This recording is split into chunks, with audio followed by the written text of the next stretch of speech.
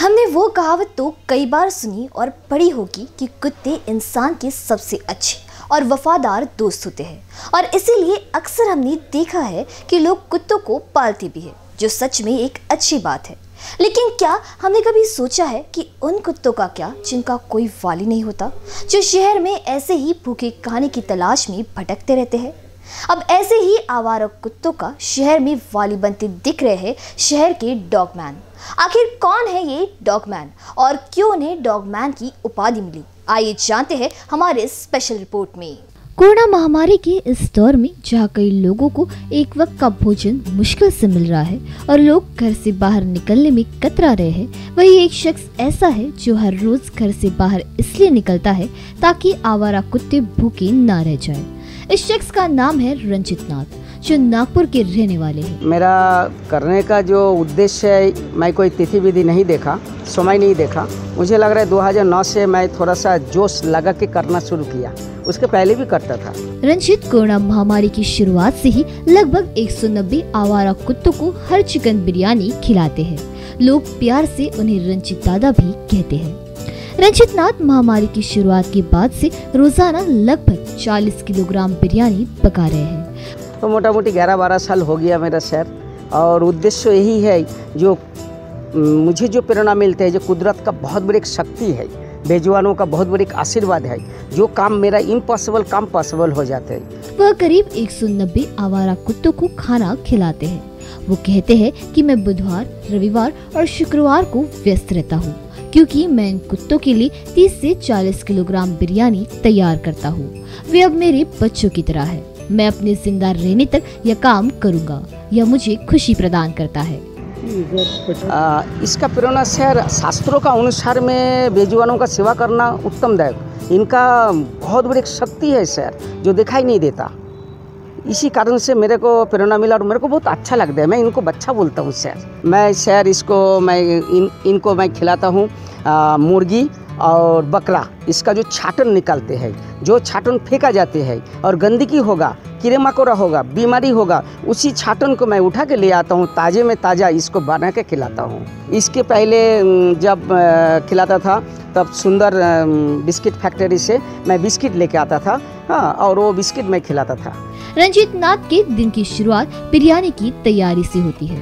वह इसे दोपहर से पकाना शुरू कर देता है। और रोज़ाना शाम पाँच बजे अपनी बाइक पर एक बड़ा सा बर्तन लेकर आवारा कुत्तों को खिलाने के लिए शहर का चक्कर लगाते हैं। नाथ बताते हैं कि मेरे पास 10 से 12 निश्चित स्थान है और मेरे बच्चे उन जगहों के बारे में जानते हैं। जैसे ही वो मुझे देखते हैं, वे मेरी ओर दौड़ने लगते हैं। मैं आवारा जानवरों के साथ भेदभाव नहीं करता। मैं बिल्लियों को भी खिलाता हूँ। तो ये तो 600 ग्राम 700 ग्राम खा रहा है। तो इसका मतलब पाँच रुपया का बिस्किट छप्पन ग्राम लेके तुम चार बिस्किट, चार बच्चे को खिला रहे हो और बोल रहे हो, ये मैं सेवा करता हूँ। फिर भी कीजिए, उतना ही सेवा कीजिए, मेरे लिए बहुत उत्तम होगा। देश में कोरोना संक्रमण लगातार बढ़ रहा है। इस वायरस के चलते कई राज्यों में लॉकडाउन लागू है। वही पिछले एक साल से कोविड 19 के कारण कई लोग बेरोजगार हो गए हैं। उन्हें एक समय का भोजन भी नहीं मिल पा रहा है। वह खाने के लिए संघर्ष कर रहे हैं। हाँ मेरा घर से मैं निकलता हूँ। मैं गेडाम लेआउट ये नागोबा मंदिर के आगे रहता हूँ। वहाँ से निकलने के बाद ऐसे ही शुरू होता है। यहाँ से सबलोमी नगर सबलोमी नगर से अपना मुखारी कॉलेज मुखारी कॉलेज से त्रिमूर्ति नगर त्रिमूर्ति नगर से फिर आईटी पार्क। आईटी पार्क में तो हमारा बच्चे इतने हैं चालीस बच्चे हैं वहाँ पे। तो कितने लोग बच्चों को खाना मैं? वन सेवेंटी से वन नाइन्टी तक हो जाते हैं। हाँ अभी थोड़ी टाइम पहले देखा दो तीन था। अभी कितना हुआ? गिन लीजिए, आठ आ गया। उसको मालूम है, मेरा मेरा पप्पा आ गया, मुझे देना है। अभी आठ आ गया, देखिए, गिन लीजिए। ऐसे करके मेरा बच्चा है एक सौ सत्तर से नब्बे। मैं सचमुच इसको बच्चा मानता हूँ।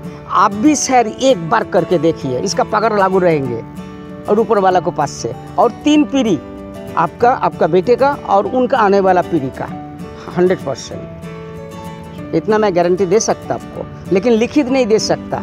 क्योंकि इसके बारे में कोई प्रमाण नहीं है मेरे पास, सर। उसी बीच रंजित दादा द्वारा शुरू की गई ये पहल सच में एक सराहनीय कदम है। पीसीएन न्यूज़ के लिए कैमरा पर्सन अखिलेश भारद्वाज के साथ दिशा हटवार की स्पेशल रिपोर्ट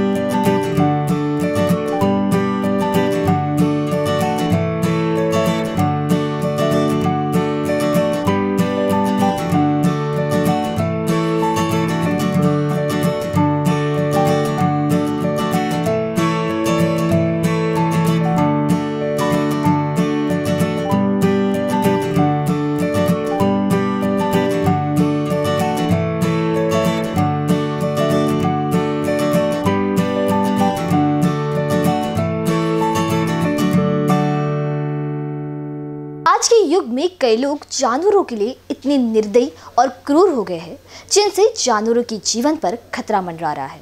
दरअसल, कोई अपने स्वार्थ और लालच के लिए जानवरों का शोषण कर रहा है तो कोई धर्म के नाम पर जानवरों की बलि दे रहा है और कोई भोजन और रिसर्च के नाम पर उनकी जान की बख्श रहे हैं। इसी बीच शहर के डॉगमैन रंजीत नाथ द्वारा किया जा रहा ये काम हमें जानवरों के प्रति करुणा भाव रखना, उनसे प्यार करना जैसे कई महत्वपूर्ण बातें सिखाता है। आज के हमारे इस खास पेशकश में फ़िलहाल इतना ही। ऐसी अन्य और खबरों से जुड़े रहने के लिए देखते रहिए पीसी न्यूज़ नमस्कार।